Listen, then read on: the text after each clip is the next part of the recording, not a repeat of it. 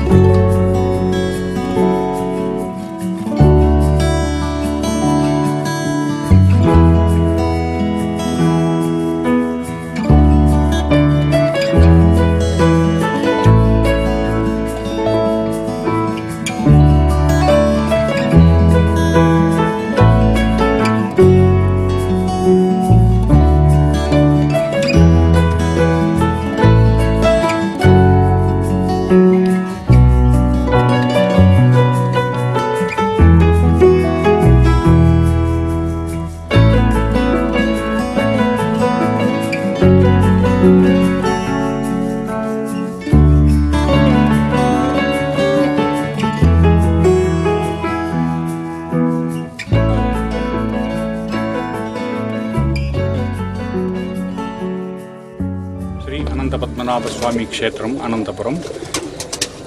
കാസർഗോഡ് ജില്ലയിൽ ഒരു മഹാക്ഷേത്രമായിട്ട് കാണുന്ന ഒരു ക്ഷേത്രമാണ് ശ്രീ അനന്ത പത്മനാഭസ്വാമി ക്ഷേത്രം.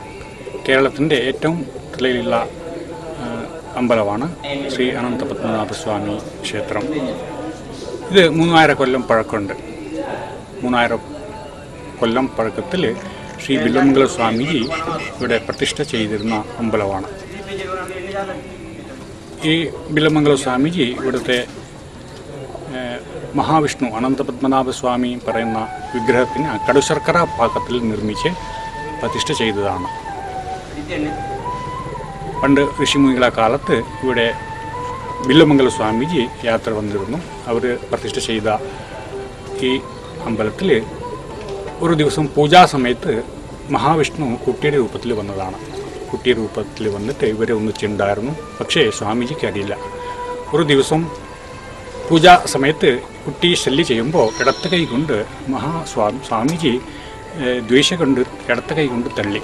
തള്ളുമ്പോൾ വീണ സ്ഥലത്തിലാണ് ഗുഹ ഉണ്ടായിട്ട് ഈ ഗുഹ മുഖാന്തരമാണ് അനന്തകാടിലേക്ക് പോയത്. ഈ അനന്തകാട് പറയുന്ന സ്ഥലമാണ് ഇപ്പോഴത്തെ തിരുവനന്തപുരം. സ്വാമിജിനെ തള്ളുമ്പോൾ കുട്ടി വീണ സ്ഥലത്തിൽ ഗുഹ ഉണ്ടായി. ഗുഹ ഉണ്ടായിട്ട് ഇനി എന്നെ കാണ കാണണമെങ്കിൽ അനന്തകാട്ടിൽ വരണം എന്ന് പറഞ്ഞ് അദൃശ്യമായി.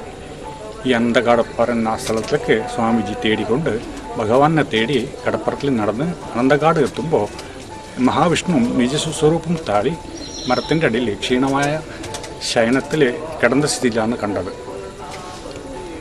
സ്വാമിജിനെ കാണുമ്പോൾ ഈ തള്ളിയ ദേഷ്യം മാറിയിട്ട് ഇഷ്കിണ്ടെന്ന് പറഞ്ഞു. പെട്ടെന്നെ സ്വാമിജി അതേ മരത്തിന്റെ അടിയിൽ കിട്ടിയ പഴുത്ത മാങ്ങയാണ് സമർപ്പണം ചെയ്തത്. ഇപ്പോഴും തിരുവനന്തപുരത്ത് ഉഷാ പൂജാ സമയത്ത് മാങ്ങ സമർ സമർപ്പിക്കാറുണ്ട്. അങ്ങനെ അനന്തപുരം തിരുവനന്തപുരമായിട്ട് ബന്ധമുണ്ട്. തിരുവനന്തപുരത്തെ മൂലസ്ഥാനമാണ് അനന്തപുരം പറയുന്നത്. ഇവിടെ മഹാവിഷ്ണു അനന്തന്റെ മുകളിൽ ഇരുന്ന സ്ഥിതിയിലാണ്. പക്ഷേ തിരുവനന്തപുരത്ത് ശയനമാണ് അവിടെ കടന്ന സ്ഥിതിയിലാണ്. കാലം കഴിഞ്ഞ് ആയിരത്തി തൊള്ളായിരത്തി നാൽപ്പത്തി ആറിൽ ബ്രിട്ടീഷ് പട്ടാളമർ ആക്രമിച്ച് ഈ അമ്പലത്തിനെ നശിപ്പിച്ചു. ഒരു തടാക ക്ഷേത്രമായ ഇവിടെ ഈ തടാകത്തിൽ ഒരു മുതല ഉണ്ടായിരുന്നു. ഈ മുതലന വെടിവെച്ച് കൊന്നതാണ്.